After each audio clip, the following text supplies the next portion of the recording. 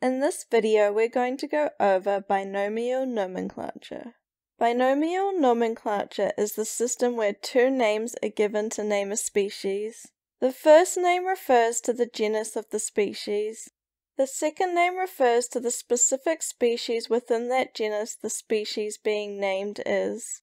If we take an example of the monarch butterfly, its genus name is Danaus, its species name is Plexippus.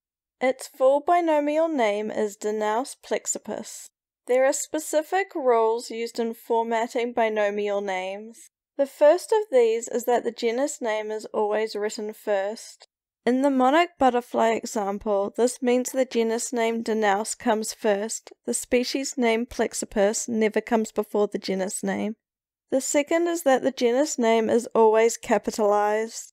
In our example, the genus name Danaus is going to be capitalized. It would never be left starting with the lowercase d.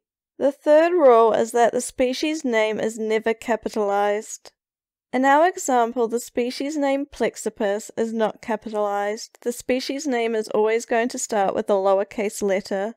The fourth rule is that the entire name must be in italics or underlined if written by hand.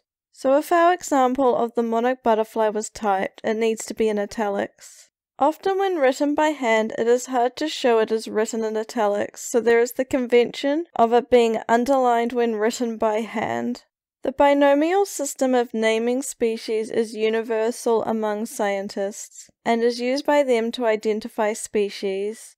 This is particularly useful as most species have more than one common name, and this common name can change if the species is found in more than one country. In our example, the monarch butterfly is just one of many common names the species is known by. It is also known as the common tiger butterfly, the wanderer butterfly, and the milkweed butterfly, among others.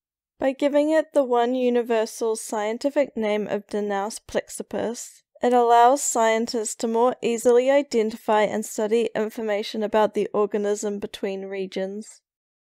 Thank you for watching. If you want to support this channel, please subscribe and check out more of my videos.